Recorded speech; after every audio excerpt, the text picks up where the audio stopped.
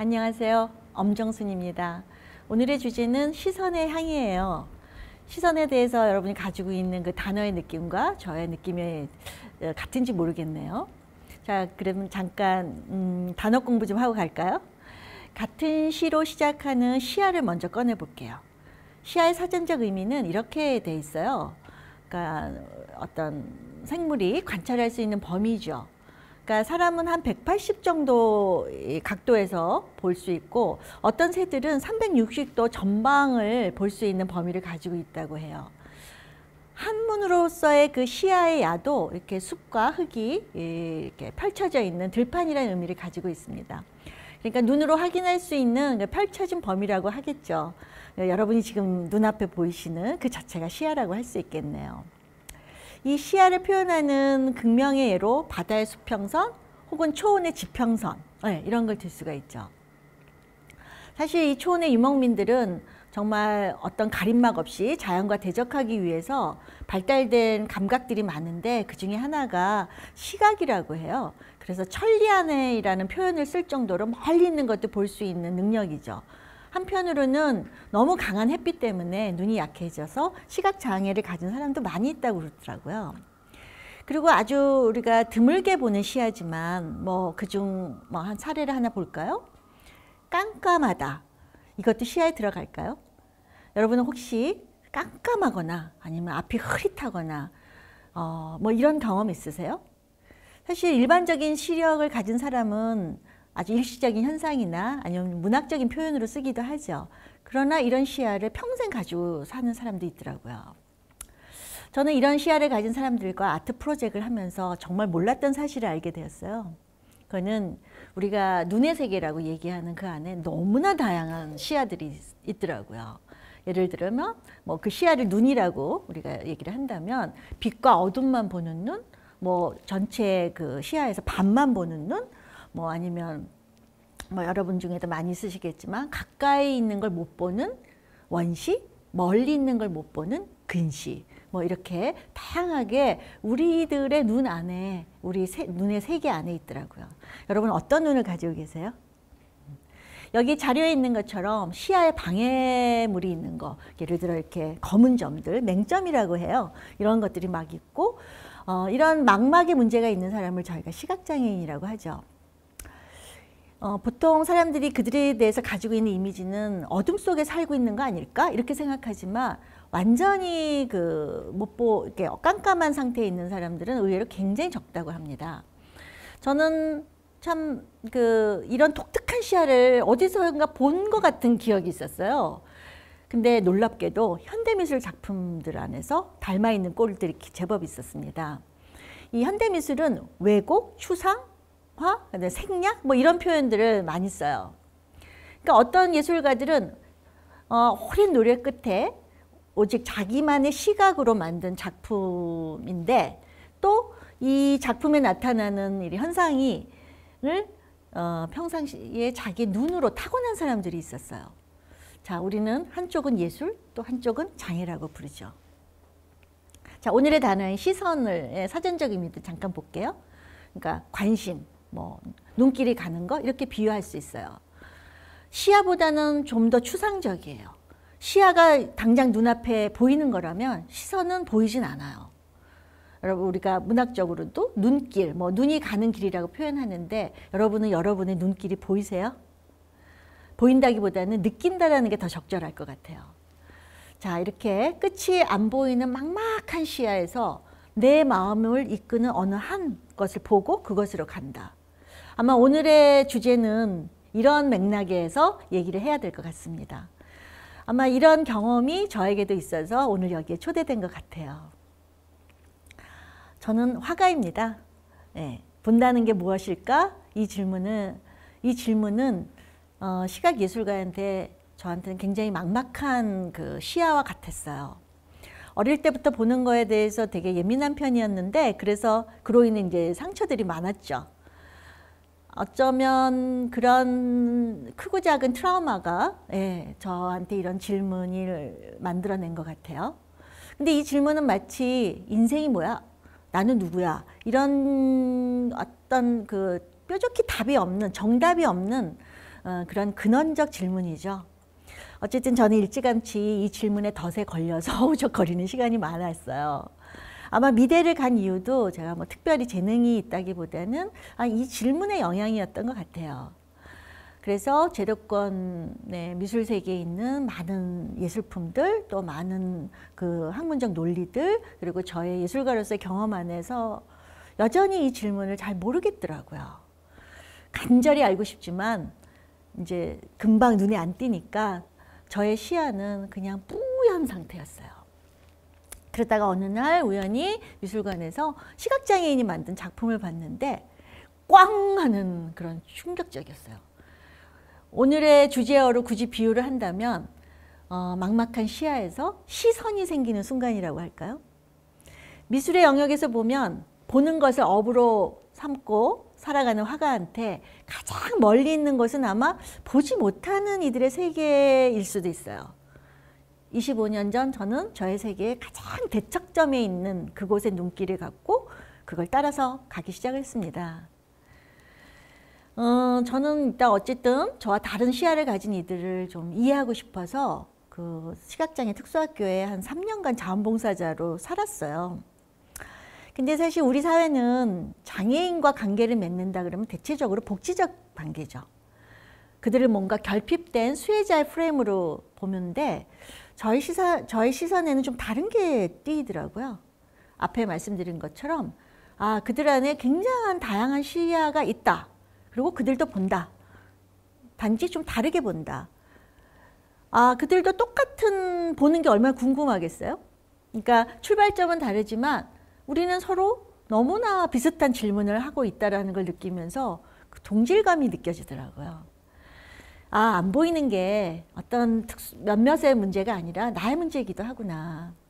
그래서 이렇게 경계를 만드는 장애라는 단어에 방점을 찍지 않고 우리 인간이면 누구에게나 해당되는 감각의 관점에서 그들과 관계를 맺는 프레임 전환을 했습니다. 하지만 현실적으로 시각장애는 저에게도 너무나 낯선 세계예요. 어, 그러니까 시선이 생긴 거지 갑자기 솔루션이 생긴 게 아니잖아요. 그래서 뭐 엄청난 시행착오를 하고 여전히 그런 실수투성이지만 같이 일을 하고 있습니다. 또 하나는 이제 프레임 전환이라는 것이 이렇게 혼자 할 일이 아니더라고요. 그래서 공공 프레 공공 프로젝트의 방법이 더 맞다고 생각해서 비영리 단체인 우리들의 눈을 설립했고요. 벌써 25년이 됐어요. 사실 이거 이제 네이밍을 짓는데 보는 눈, 보이지 않는 눈, 이 모두가 우리들의 눈이라는 생각으로 네이밍을 했고요. 그 다음에 영어로는 이렇게 표현했어요. Another way of seeing. 사실 우리 이 시대가 굉장히 창의성, 새로운 관점 뭐 이런 거에 대해서 이제 목말라 하잖아요. 근데 어떤 다른 관점을 탄생시킨다라는 거는 이처럼 대척점에 있는 시선들이 교차됐을 때 나오는 거 아닌가? 뭐 저한테는 그런 의문이 있었고 이 프로젝트는 우리들의 눈은 바로 이런 Another Way of Seeing을 찾아가는 프로젝트입니다. 제가 이 시각장애 아이들과 미술 작업을 하면서 이제 느낀 것 중에 하나는 아 이들이 미술을 배울 기회가 없었구나 하는 거였어요. 사실 이제 이미지를 만들거나 사용하는 것이 마치 이모티콘을 이모티콘 여러분 많이 쓰시잖아요. 그런 것처럼 자기의 정서와 뭐 이런 느낌을 표현하는 방법 중에 하나예요. 굉장히 중요한 소통 소통 언어입니다. 말을 배우듯이 우리는 이미지 언어도 배워야 돼요. 20년 전에는 한국에는 그 안 보인다는 이유만으로 이런 기본 학습의 기회가 없는 것이 너무 많았어요. 그러니까 미술을 쓸데없는 과목이라고 여겼죠. 그 시간에 암만나 하지. 근데 미술은 볼 수 있는 사람의 전유물이라고 생각하는 그런 오해에서 나온 것 같고요. 또 우리가 그 배운 미술의 그 정의이기도 한데 그림은 무릇 비슷하게 그려야 되는 건데 앞이 보이지 않는 애들한테 이게 가능해? 그래서 우리는 암암리에 이들은 배울 수도 없어. 배울 필요도 없어. 이렇게 생각한 거죠. 그러나 사실은요. 미술은 그리고 만들고 뭐 이런 행위 이전에 생각하는 훈련이에요. 사고력입니다. 그러니까 화가의 시선에는 이런 모순이 너무 크게 띄었어요. 어, 우리의 감각은 어느 하나가 부족하다 해서 다른 감각도 꼭 무능한 건 아니래요. 그러니까 미술은 사실 시각 예술이라고 해서 눈으로만 한다고 생각하지만 사실은 오감의 결과물입니다. 어, 미술이 가지고 있는 굉장히 좋은 그 기능 중에 하나는 이런 감각을 굉장히 활성화시키는 거예요. 저는 이제 이걸 업으로 하는 사람이기 때문에 이런 기능을 잘 알고 또 굉장히 좋아해서 시각 외에 다른 감각을 활용한 그런 커리큘럼을 만들어서 이들과 작업을 했습니다. 그러니까 소통하는 언어를 배우고 또 감각을 회복하고 뭐 이런 것들로 프로젝트를 여러 가지 기획을 했었는데 그 중에 하나가 코끼리 만지기 프로젝트 터칭언 엘레펀트입니다. 여러분 다 아시죠? 장님 코끼리 만지기라는 우화. 우리 인류가 가진 굉장히 오래된 이야기예요. 원래 불경 열반경에 나오는 우화인데 이제 진리를 찾으면서 자기의 경험만이 옳다고 주장하는 인간의 우매함을 이제 꾸짖는 메시지입니다. 어, 많은 사람들이 이게 시각장애인을 비하하는 얘기라고 하는데 그건 결코 아니에요. 저는 이 비유를 통해서 우리의 공통의 질문인 본다는 게 뭘까? 이걸 한번 좀 탐색하고 싶었어요. 여기서 코끼리가 비유하는 것은 단순한 동물이 아니고요. 거대한 무엇이에요. 왜냐하면 코끼리는 지상에서 가장 큰 동물이잖아요. 그 거대한 무엇에는 아마 이런 게 들어있지 않을까요? 진리, 우주, 종교, 예술 뭐 이런 거요. 그러니까 한눈에 볼 수 없는 거대한 무엇에 다가갈 때 어쩔 수 없어요. 우리는 경험이 많지 않으니까 다 어떤 실수를 저, 우매함이 있죠. 근데 이 우매함을 너무 교훈적이기보다는 유쾌한 예술적 통찰로 만들고 싶었어요. 자, 오늘의 주제어로 바꿔 말하면 시선의 향해를 떠나면서도 우리는 계속 동일한 시행착오를 해요. 그러나 이 시행착오조차도 어떤 창의적으로 풀어보고 싶었던 거죠. 근데 이 프로젝트 핵심은 살아있는 코끼리를 만나는 거예요. 관념적인 게 아니에요. 그래서 아이들을 데리고 코끼리를 만나러 여기저기 막 다녔습니다. 물론 되게 쉬운 과정은 아니었지만 국내를 넘어서 태국까지도 갔었어요. 근데 보시다시피 이들이 만든 코끼리가 우리가 알고 있는 코끼리와 너무 다르죠. 이렇게 색다른 표현이 가능한 것은 어, 이들의 그 경험 안에는 우리가 알고 있는 기존의 프레임, 코끼리는 이러이러해 이러는 게 없었기 때문이 아닐까? 오직 그 순간 자기네 감각을 통한 상상력이 만들어낸 거라고 생각해요. 참 사회적으로 장애라고 불리는 눈에서 탄생한 굉장히 창의적인 관점들입니다. 정말 이런 작품을 보고 있자면 미술이 시각 예술이어서 시각장애인들한테 필요하지 않아 이런 거는 그야말로 너무 좁은 생각 같아요. 사실 우리는 모든 사물에서 미감을 느껴요. 그 사물과 또 어떤 생물을 만났을 때 우리 감각이 작동을 해서 뭐 불쾌하다, 뭐 행복하다, 아름답다 이렇게 느끼는 거를 미감이라고 해요. 자, 우리가 알고 있는 미감들이 많은데 한번 볼까요? 예. 뭐 자연미, 우아미, 뭐 순수미, 한국의 미 뭐 이런 게 있죠. 크고 웅장한 걸 보면 어, 장엄미라고 표현을 하고 작고 볼품은 없지만 그래도 그 안에서 어, 느껴지는 거를 소박미라고 불러요. 하물며 멍청함에도 미감이 있다고 그랬죠. 이름하여 백치미. 예. 저는 이 프로젝트를 하면서 제가 가장 많이 그 수혜를 본 것은 이런 미감을 느끼는 능력이 커진 것 같아요. 그래서 여러 가지 미감을 발견했는데 장애라는 불편함에서 오는 미감도 있어요. 그래서 저는 그걸 불편미라고 불렀고요. 그다음에 또 장애가 있으니까 아무래도 표현이 서툴겠죠. 그 서툼이 뿜어내는 미감을 저는 서툰미라고 이름 지었어요. 근데 여러분 미감은요 하나의 관점이에요. 어, 그래서 미감이 풍부해지는 거는 다시 말해서 감수성이 풍부해지는 거고 이 감수성이 풍부한 사람은 마치 아까 그 새의 눈처럼 360도를 볼 수 있는 굉장히 입체적이고 그 넓은 시야를 갖게 되는 거죠. 아마 코끼리 작품에서 사람들이 느끼는 감동은 이런 불, 숨겨진 불편미에서 온 것이 아닐까 이렇게 생각합니다. 여러분이 속해 있는 밀레니얼 세대에 대해서 여러 가지 분석이 있는데 아마 이 밀리, 지금의 밀레니얼 세대는 그 어느 세대에 비해서 자기의 가치를 표현하는 것을 어, 가장 중요하게 생각하는 세대라고 하죠. 그래서 자기애가 강한 세대라고 해서 me generation이라고도 합니다. 근데 이제 잠시 생각해 보면 그 중요한 자기가 무엇인지 본인 스스로들은 알고 있나? 혹시 엉뚱한 걸 자기가 자기라고 생각하고 소중히 여기는 건 아닐까?